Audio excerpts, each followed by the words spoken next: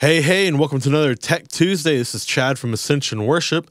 This week we're talking about proximity effect and how you can use a multi-band compressor to help alleviate that. Hey, hey, hey, what do you say? Yes, it's that time again. It's Tech Tuesday. So, first, what is proximity effect? Proximity effect is when you have a microphone come closer to a source. Uh, in this case, a cardioid microphone that a pastor is holding. Um, as the pastor is bringing the microphone closer to his or her mouth, not only does the volume increase, but also you're going to get a low end increase as well. Um, so it's going to become a little bit muddier sounding. Uh, and then as the vice versa of that as the microphone goes further away, not only will it get quieter, but it's going to get thinner sounding. Um, so that's what proximity effect is. Uh, what we're talking about today is how you can kind of set an EQ um, for the thinner sounding voice and then use a multiband compressor to make up for the low end difference that's going to happen um, as that microphone comes closer and further away. So, what we have here are two recordings that I've done earlier today. Um, one is with the microphone close to my mouth, and one is with it further away. We're hearing it with no compression, no EQ. Uh, the only thing that I've done is done a bit of a volume difference, so as if you were taking the fader and boosting it a little bit for the far away microphone and turning it down a little bit for the close microphone, so that we're not having to uh, slam the compressor any more than we already will be, as you'll see. So they sound like this. Close, one, two, three, four. Far, one, two, three, four. Close, one, two, three, four. Far, one, two, three, four. So that close microphone actually sounds pretty good right away. It's a, just a regular Sennheiser handheld wired mic. Um, and then the faraway microphone uh, sounds a bit thin and a little bit telephonic. Um, so in today's example, we're kind of assuming that the um, pastor tends to be more in this range, more that, that was like about navel, uh, a little bit above the navel where I was holding the microphone. Um, so really poor mic placement. So we're we're really going extreme today to show you what you can do. Um, so let's throw on a little bit of EQ and compression. So I'm just going to use an SSL EQ here, and I'm basing this off of the um, the far away signal. So the really thin signal, I'm uh, boosting some low end, cutting out some of that telephonic sound. Um, but this is what we're really focusing on today, is that I am boosting the uh, shelf, so from about 100 hertz down by 9 dB, which is pretty extreme here.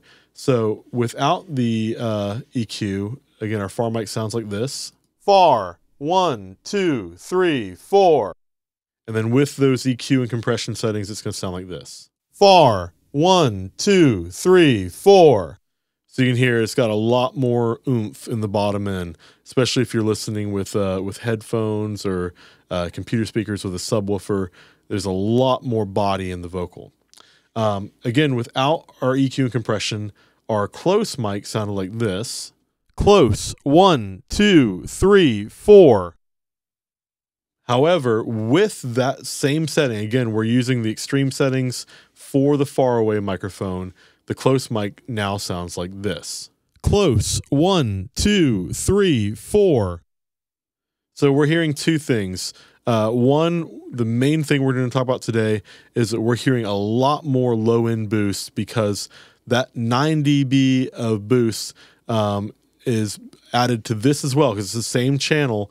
Um, and what already sounded pretty good in the low end before now has just heaps more low end on it. Um, and then also because there's so much low end and, and signal in general, the compressor is having to slam down a bit more too. Uh, so what we're going to do today, we're, we're mostly going to focus on the multi-band compressor over here. Um, if you remember from a few weeks ago, we talked about de-essers. That is basically a multiband compressor that focuses on the top end of the voice, so where the S's are coming from. Today, we're going to talk about using a um, uh, multiband compressor to focus excuse me, to focus on the low end, so where all the rumble is coming from, all the proximity effect. Uh, so we are going to be listening to a low shelf set around 150 hertz, and uh, and so it's basically this area here. Uh, so with our plugins on, I'm going to just solo that again. If you have uh, nice speakers, you'll hear this. This is the area that we're focusing on today.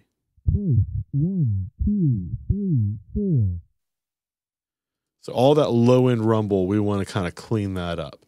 Um, so this has some pretty basic settings, just like most compressors.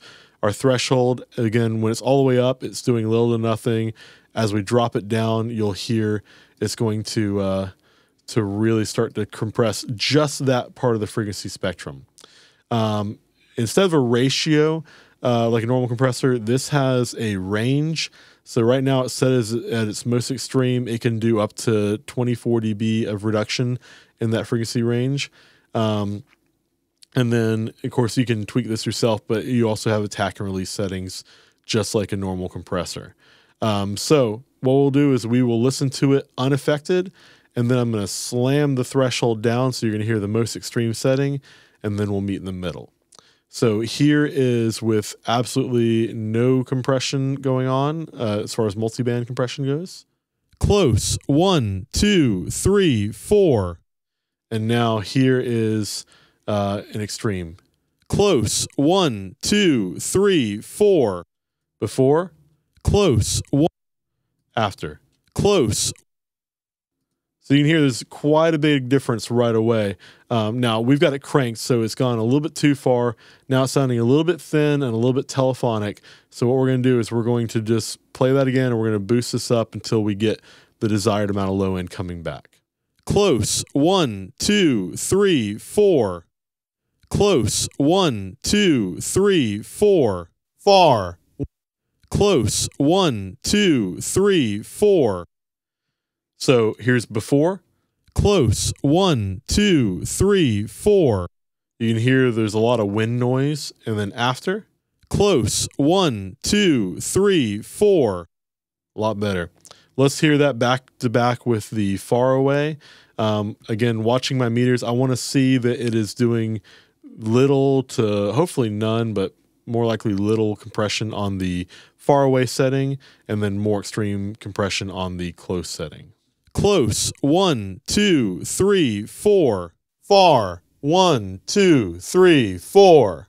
Close, one, two, three, four. Far, one, two, three, Off. four.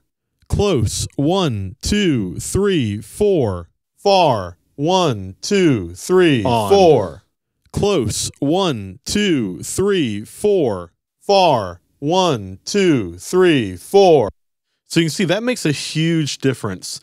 Um, not only are we getting less low end when the microphone comes closer, but also our compressor is actually our, our main compressor here is pushing a little bit less um, because it's getting less signal sent to it because the low end happened to be a lot of what was making the compressor go before. So in general, it sounds a lot cleaner.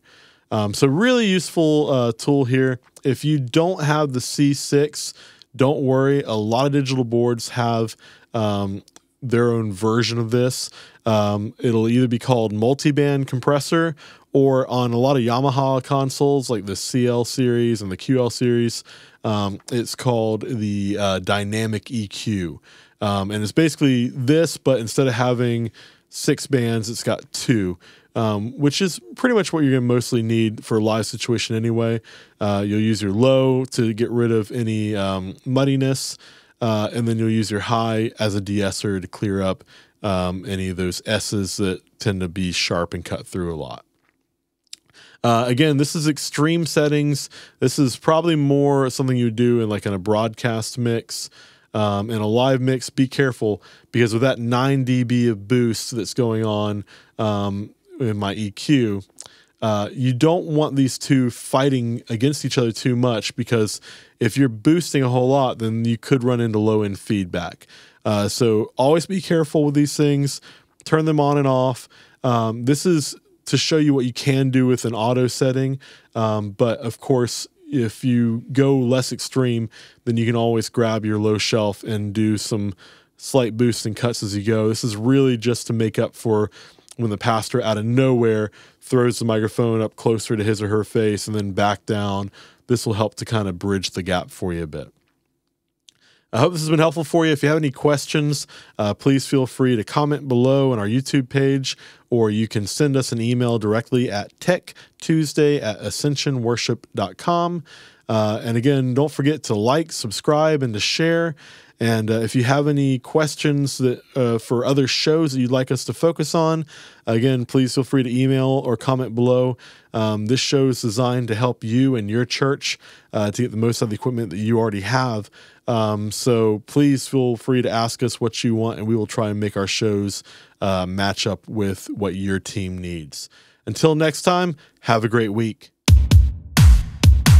Again, this is Chad from Ascension Worship. I hope this has been helpful for you and your team. Come back here every Tuesday for new information.